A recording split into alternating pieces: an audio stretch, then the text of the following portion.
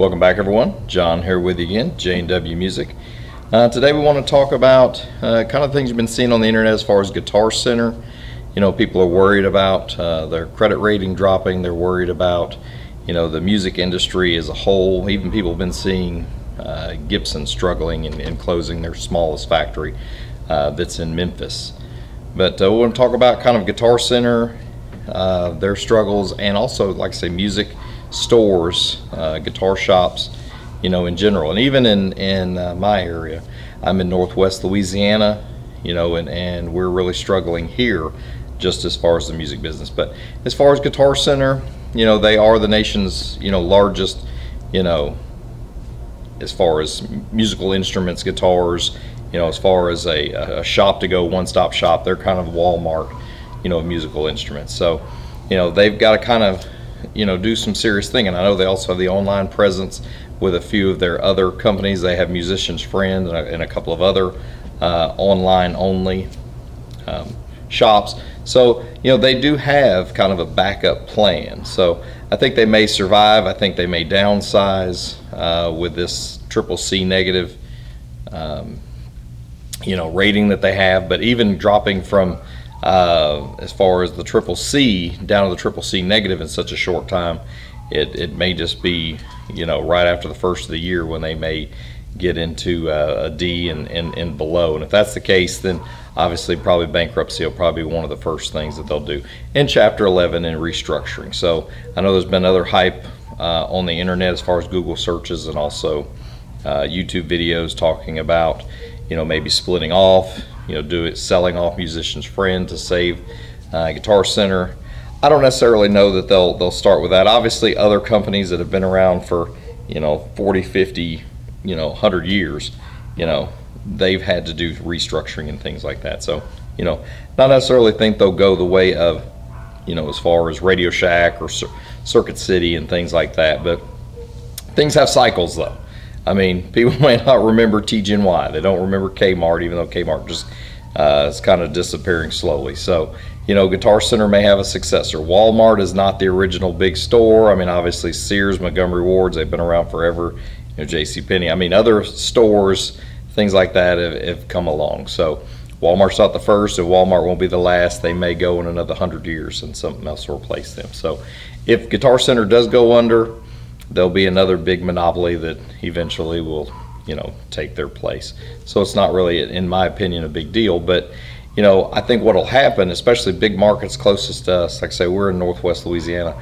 Take Dallas or Houston, for instance, where they've got you know five and six stores, you know, in in one metropolitan area. What they'll end up doing is taking these smaller stores, you know, maybe settle down to two. You know, take the ones that aren't as profitable, settle those down. Now, obviously, you will have people that will end up losing their jobs uh, but that's just the way the market is. You know, all other companies, even locally where we were, we had a big GM plant here. Used to make the S10s and used to make the Blazers. Well, you know, they quit doing that several years ago. So, I mean, those those jobs, the plant's still here. It's sitting empty, not getting used. But as far as our area, it's still surviving. You know, we also years years ago used to have an AT&T plant. Used to make all the AT&T phones, you know, in the 70s and 80s. Those left you know, our area has survived. So, you know, even if Guitar Center leaves, communities eventually find other type of jobs, you know, they'll make it.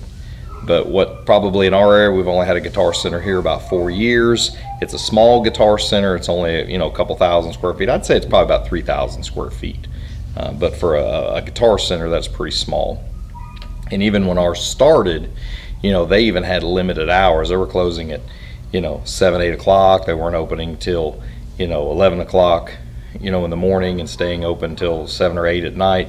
Now, finally, they did uh, this last year. Um, they started opening up a little earlier.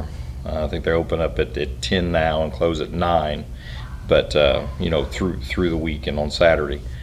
And the only reason why some of that picked up really is because of their students. You know, you start getting more guitar students in that are coming in for later uh, later lessons, then there's a reason to keep the doors open. But you know, they were real, really struggling when they first got here. Like I say, they weren't staying open past seven, eight o'clock at night, but they didn't have any students. You know, enough money coming in to warranty keeping the uh, the lights on. You know, if you can't pay the electric bill, there's no use in having the switch turned on. So even in our area, I think uh, we'll probably be one of the first markets if, if they do start downsizing and, and restructuring under Chapter 11. Uh, Northwest Louisiana, I think, we'll be one of the first ones to lose our guitar center. Like I say, it's not very big anyways, and uh, we just you know don't have really the support here. But in saying that, uh, we did just lose one of our longtime mom and pop shops that were in town. Um, they were here for 34 years, you know, but they just they just couldn't compete. You know, they were doing, you know, all the stuff that a standard you know little mom and pop would do. They had their wall of Squiers, they had their wall of Epiphones, they carried, you know, some some kind of mid-grade uh, Ibanez and things like that. But you know, internet-wise, they just couldn't compete. So that that's something also to think about. Like I say, you're you're in business for you know for over 30 years, and then now the internet's come along, you know, and they're they're taking that away, which a lot of times even kind of a, a you know as far as you know cutting your nose off to spite your face, Guitar Center is like that in, in a lot of ways with Musician's Friend because you know you can you can go try it out at Guitar Center and then you can go on Musician's Friend and order it. You'll have it within a couple days, free shipping and tax free. So really, one brother is is stealing sales from another brother. You can actually hold it in your hand, play it, know you like it, you know, and then go order it, you know, somewhere else, and you you know it already feels good in your hand. You save a few dollars. You know, you don't pay the taxes, and uh, and and you're getting it within a couple of days. So. One way that Guitar Center combats that is that they're their sales associates are on commission. So, I mean, they do try and, and you know, kind of sway, you know, people into to buying it right then.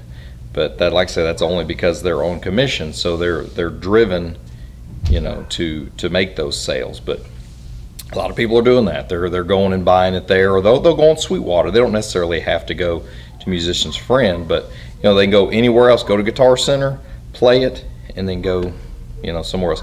And that was happening. And in saying that, that that was happening to the small mom and pops. You know, you could you could go play the same thing, your Epiphone or your Squier at the mom and pops, a brand new model. You know, and then you go online and try and order. Even Amazon was doing the same thing. You didn't have to order from Sweetwater or anywhere else. You could order from Amazon, two day free shipping. You know, all the major manufacturers um, sell on Amazon nowadays. So, you know, that's another thing that, that cuts into it. So Guitar Center has more competition, you know, than, than just mom and pops. They have to deal with online also. So, you know, there, there's lots of things to, to think about. But overall, I think as far as a company, I think they'll, they'll still be here after the first of the year. I think that they're going to have to probably file Chapter 11. They'll have to restructure, and they'll places that have big markets that have you know multiple stores they'll end up downsizing and just go to one or two stores in the huge markets and small markets where I am where there's you know less there's there's probably less than 400,000 350 400,000 where I am in the huge metropolitan kind of area where there's five or six kind of small cities around the big city you know it, it'll probably just end up closing down you know like I say they just went to normal hours this last year, and it took them you know almost three years to do it.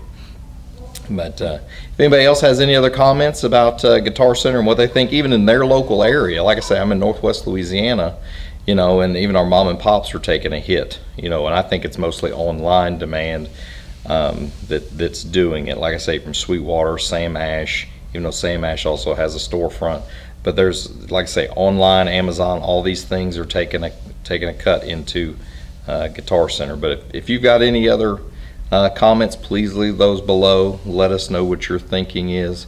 I know I get into my rambling sessions, so um, just let me know what your thoughts are. You know, and if you like our videos, go ahead and give us a thumbs up and share. We appreciate that interaction and, and letting others know, you know, about our channel. And if you'd like to be part of the J&W Music family, go ahead and hit that subscribe button. That way the next time we put a video out, you'll be one of the first ones to know. And as always, our motto here, stop dreaming, start playing. We'll see you next time.